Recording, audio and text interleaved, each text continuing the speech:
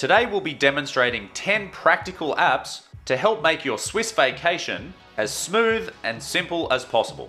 We'll walk you through some of the key features that we have used to either save money, save time, stay organised, or to just get the absolute most out of every day of your vacation. Let's jump straight in. The first app on our list is the Swiss Travel app. The structure of this app allows you to use it as a central hub to plan out your vacation and keep yourself organised along the way. As a brief example, you can find just about any destination all over Switzerland in the travel highlights section.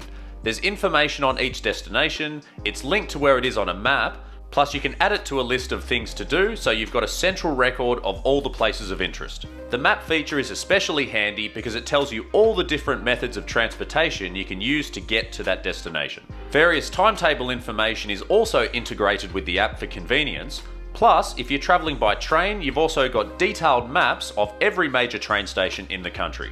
You can also toggle the map to show what other highlights are on the map around where you're looking. This is great if there's something that's on your must-see list and you're not sure what's nearby that you could build into the same trip, or if you've got no idea what you want to see, but you know what cities you'll be in. If you also have general questions about travelling Switzerland, you'll find a FAQ section that has lots of common questions that travellers would ask when travelling around Switzerland. You can save questions of interest that you know you'll need to refer to later so that they appear on that home screen right underneath your saved destinations.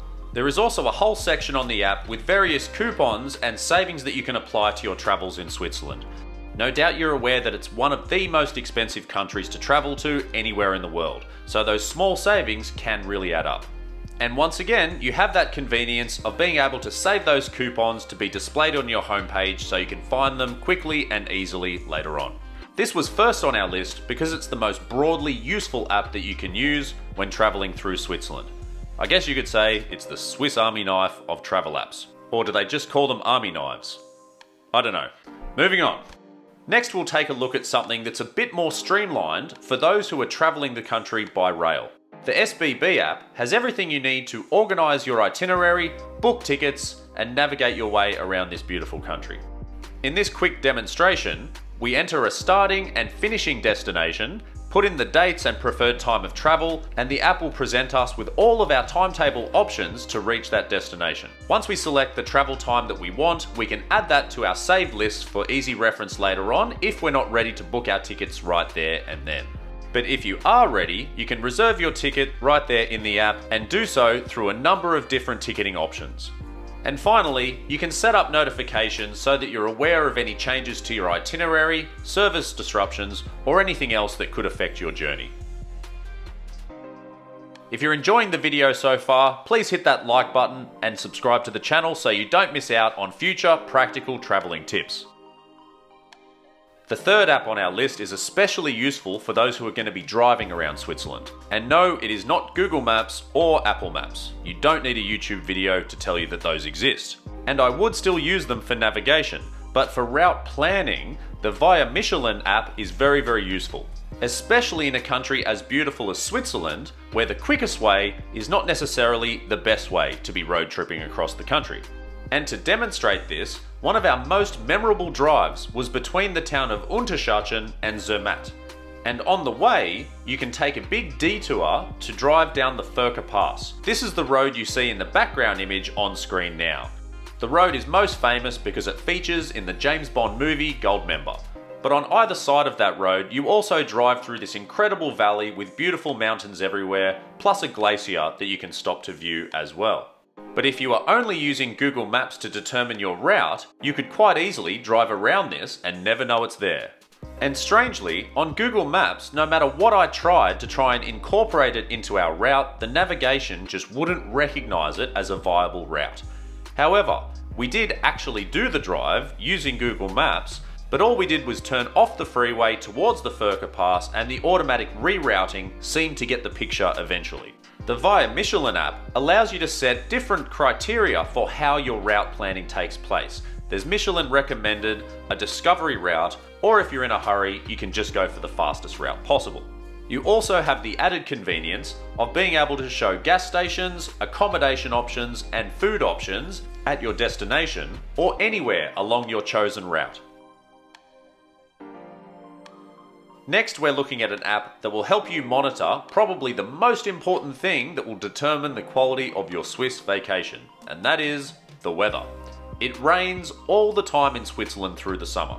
And in winter, you're going to have the snow to contend with, so it's very volatile. And to make this even more complicated, the weather at ground level is not necessarily going to be the weather on top of a mountain. Considering so many of the activities that you can do in the Swiss Alps involve getting a cable car to the top of a mountain, the quality of the weather you'll meet when you arrive can really be make or break as to whether that trip is worthwhile in the first place. In comes the MeteoSwiss weather app, where you can get your weather forecast at ground level, but also at various points of elevation, so you know what to expect no matter where you are.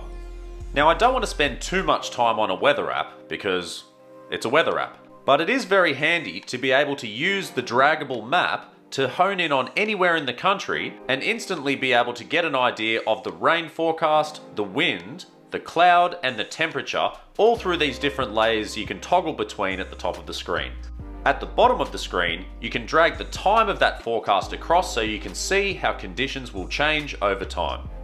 If you're after something a little less specific, then you can pull up long range forecasts for broader regions and get an idea for how the weather will change over the course of the next week in the north, west and south of the country.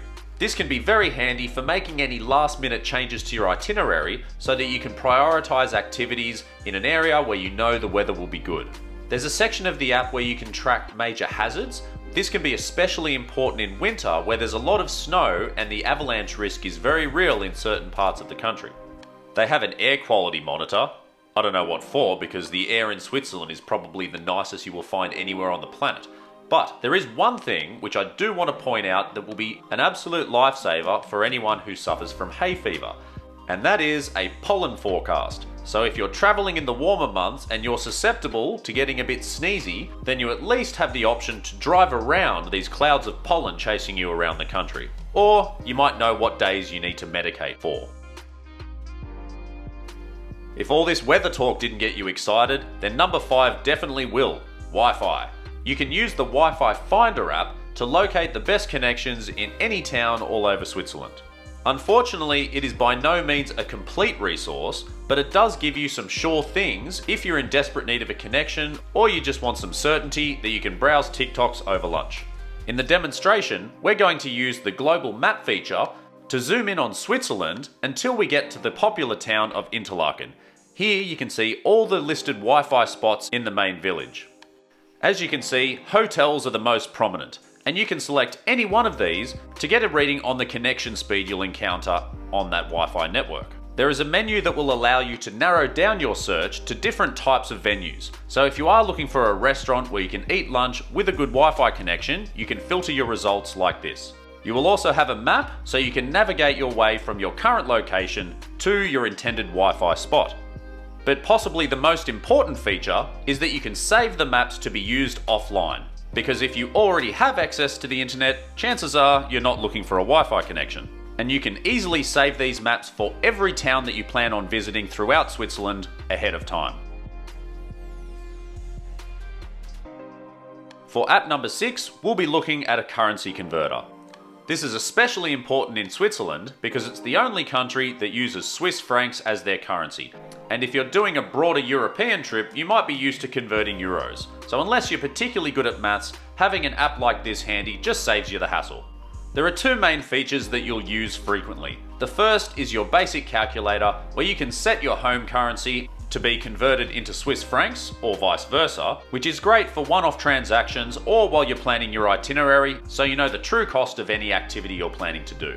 The second feature is a version of a calculator that allows you to split your bills when you've made a partial payment in the past. This is especially useful for hotel or vehicle rental bookings where you have paid a deposit up front and you've got the remainder of the bill to settle on arrival. This way you know exactly how much money you need to have set aside. App number 7 is great for those who want to secure restaurant bookings well in advance. Now, I wouldn't use this one personally because I think the best way of finding a great restaurant is by turning up and just asking the people at the front desk of your hotel accommodation. However, if you prefer to have plans locked in ahead of time or you have a specific restaurant in mind, the Fork app makes it really easy to access a restaurant's booking system, menus, and check out some of their ratings as well. There are some difficulties that are worth mentioning though. A lot of the menus are in German or French, and I was unable to locate an option to convert it to English. Which leads me to the second difficulty. The app did not let me use the copy and paste function so that I could take the contents of the menu and copy and paste it easily into a translation app.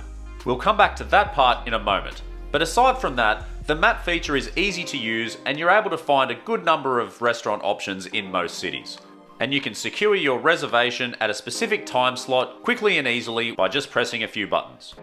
Now, coming back to the translation issue, if you're really going to decode what some of these menus say, you're going to need a translation app, which leads us to app number 8, Google Translate.